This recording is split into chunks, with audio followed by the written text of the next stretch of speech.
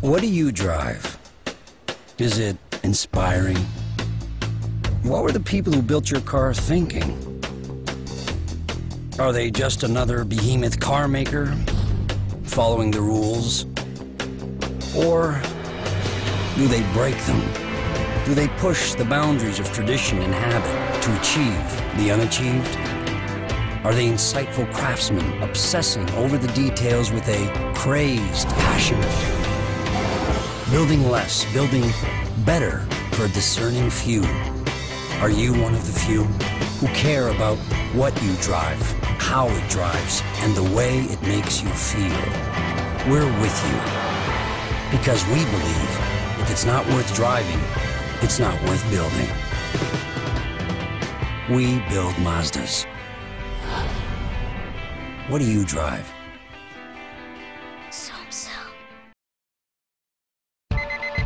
You wake up, shower, get dressed and eat breakfast. Then kiss your better half goodbye and walk to your car. For 80% of you, what happens next is of no consequence whatsoever. Because your car is just a way to get from here to there. You don't care how it looks, how it drives, corners, accelerates, or stops. 80% of you don't care. For the rest of you, the 20% that do, you're the ones we build cars for.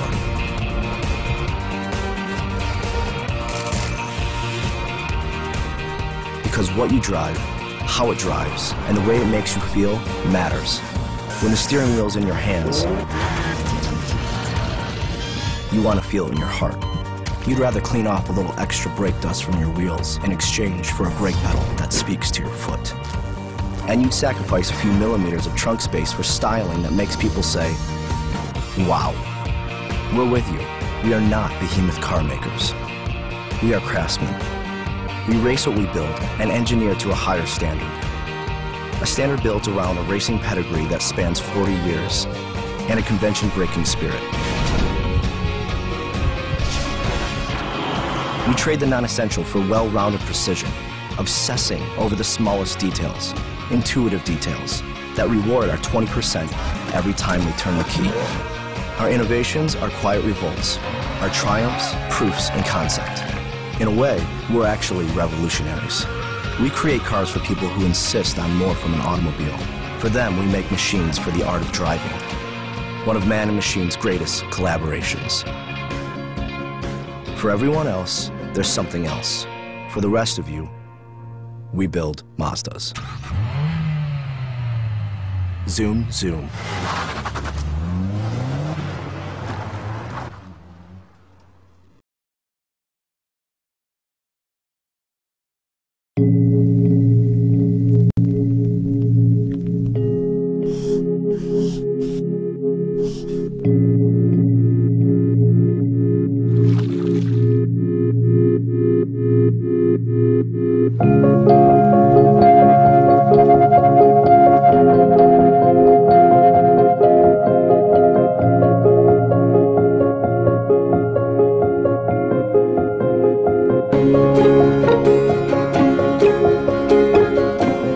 1945年の8月6日何百年も栄えたものが一瞬にしてなくなってしまった。あの、まあ、そういう歴史があってそういう大きなものに挑んでいこう。そうしないと生きていけないじゃないかと。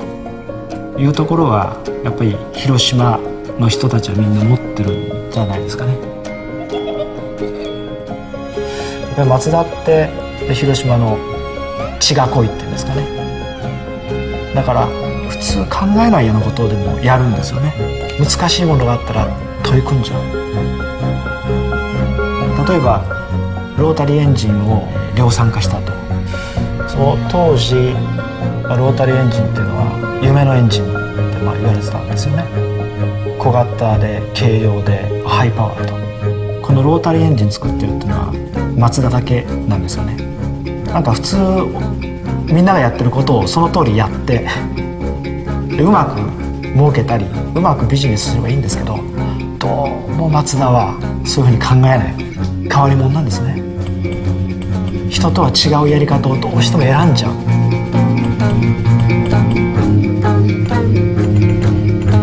24時間ずっと走り続けて壊れない。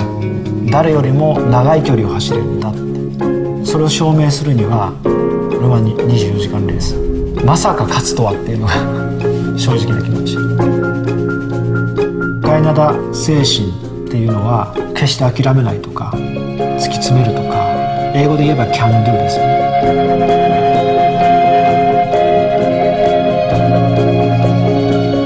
馬力が高い方がいい。これは常識なんですけどその常識を違うやり方で超えたい。スポーツカーはライトウェイトスポーツに限るっていうのが我々の考えです。だから300馬力出なくても250馬力。250馬力でも300より速い。コーナーのあるサーキット。軽量化のおかげでコーナーを速くなる。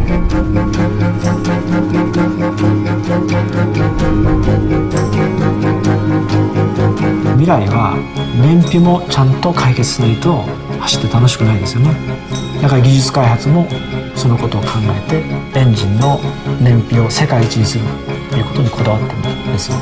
軽くてちっちゃなエンジンと軽い車体とすごくかっこいいデザイン。これを合わせればまた新しいスポーツカーの価値生まれそうな気がしますね。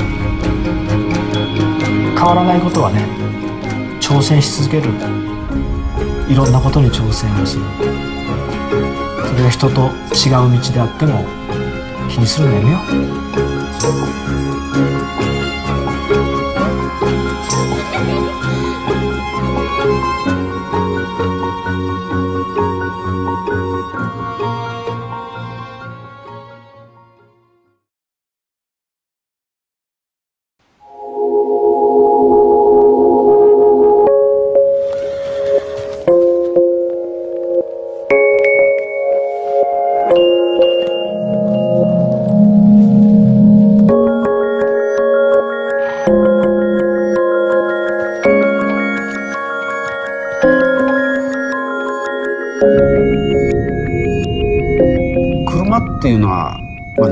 こう身体能力を拡大した道具って言いますかものって言われてますよね。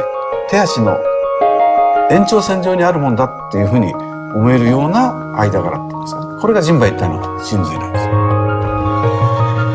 馬が乗り手の感覚を分かって今こういう走りをして矢を射るっていうその馬と射手のコミュニケーション車とドライバーの間にもその関係を作ろうとなぜそうしたいかっていうと思い通りに動く楽しさなんですよ最先端の機器で測れば筋電図も上がれば G センサーもあればデータが取れるようになってるわけですよ。例えばねシシフトレバーの位置のここの位置にあるのかここの位置にあるのかここの位置にあるのかっていうのはみんな筋肉のその働き違うわけですよ。操作のための人間に入る力っていうのが全体バランスしてる必要があるっていうのね。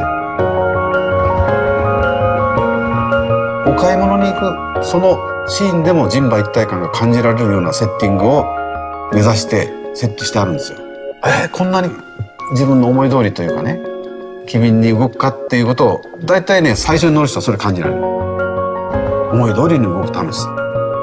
早く知っておればよかったとかね乗って人生変わったとかね。そんな大げさな言葉が出てくるんですから。ぜひ乗ってみてください。あこのことかっていうふうに分かっていただきたいと思います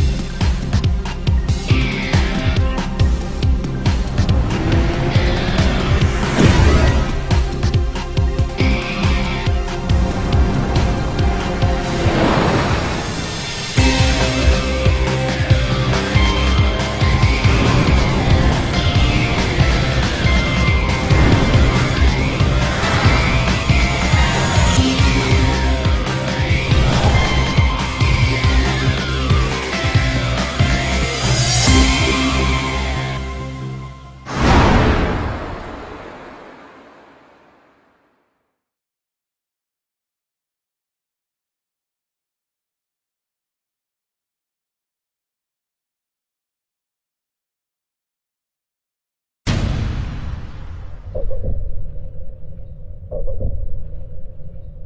you